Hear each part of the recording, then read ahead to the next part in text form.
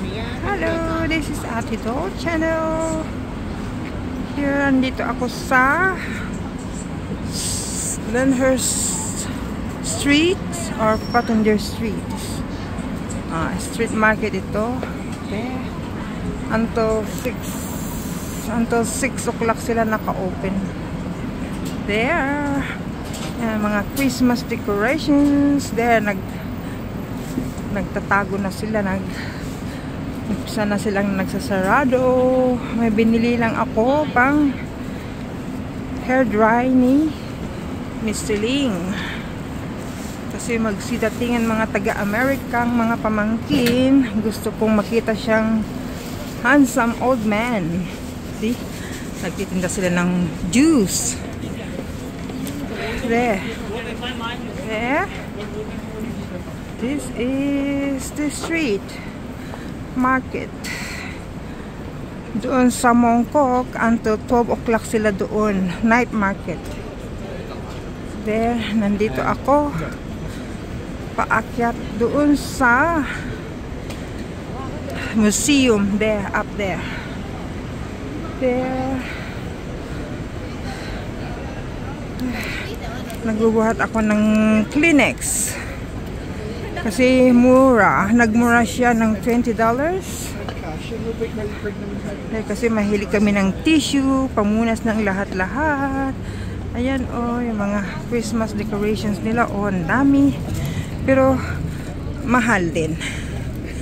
Mahal. Pero magaganda.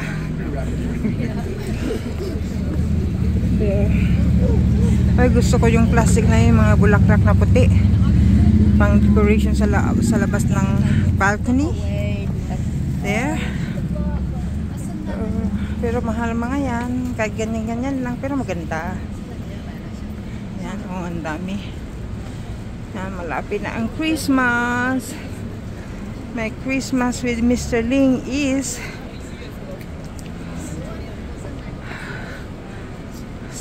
kaming dalawa lang kasi yung mga girls uwi sila ng Pilipinas kami, mag-busy kami sa Pick Home. Marami kaming invitation to go out to eat. Including me. There. There, daming mabilo. Oh. Mas magandang mabili dito. Pero mahal din.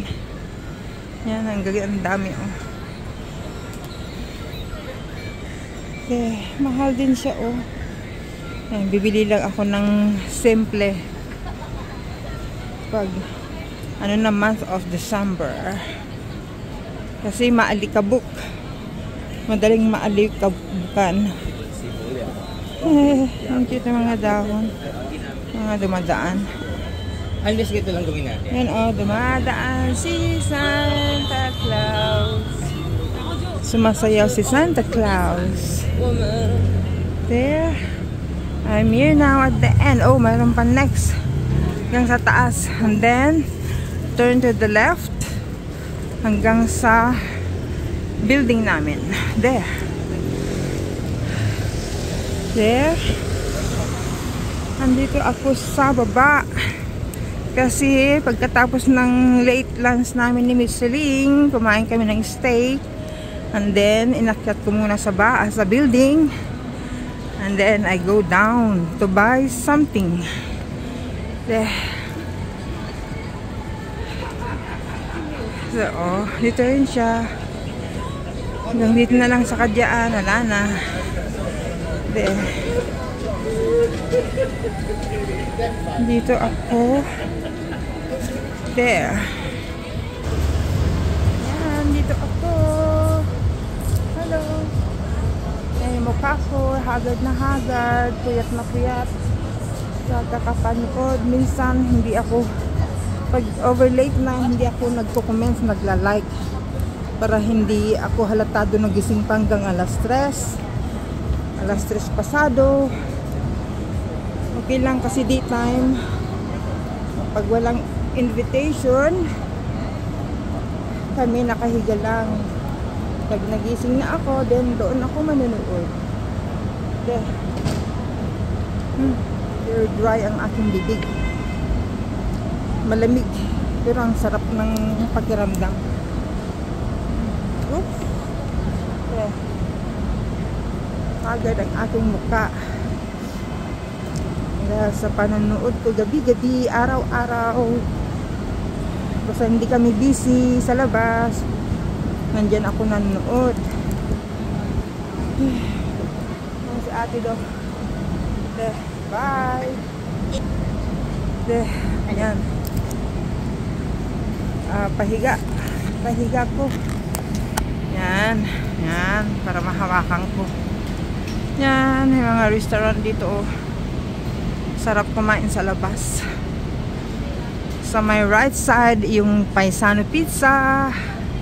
Yan yung museum na. Umakyat ako dito. Oh. Yan. Tignan mo.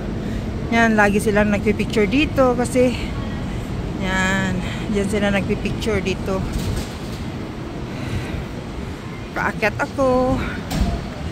There. Before ang lahat, please supportahan natin si Kuya Santos Matubang, Bal Santos Vlogs, Kalingap Rob, Ate Edna Vlogs, Ruel of Malalag, Kalingap Dan, uh, Kindred TV, Maria Cusinera, uh, Ambassador Pastor Jay Morello together with uh, Kalinga Plidia Millionis TV uh, Ambassador Kalinga Jose together with Tatay Papsi Mara Mara 77 Vlog Mega Love shout out.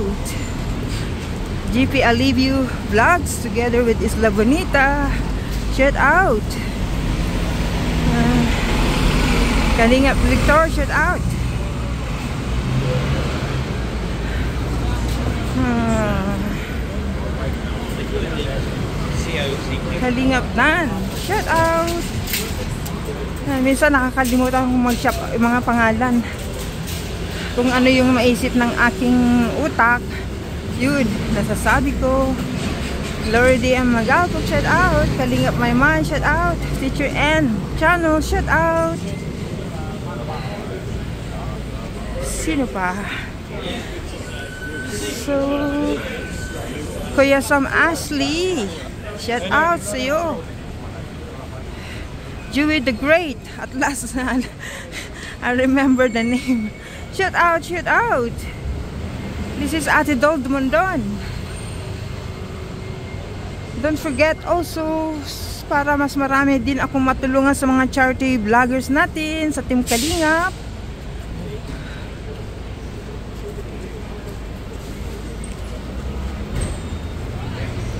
Yan.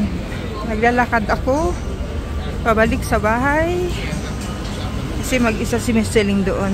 At least magkasama kami kanina kumain. And then, hinatid ko muna para may makabili ako ng bibilhin ko. Because tonight, itay ko yung hair niya para mawala yung kanyang puti-puti. Kasi next month, marami na kaming invitations. Mas marami ngayon kasi magsidating ang mga taga-America. Sino pa yung taga-America? Canada.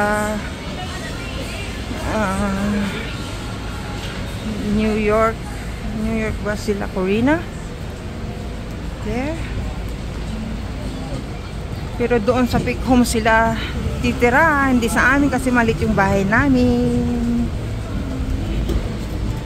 then nandito ako sa mga restaurant dadaan ako dito sa may 7-Eleven madadaanan ko sa harap there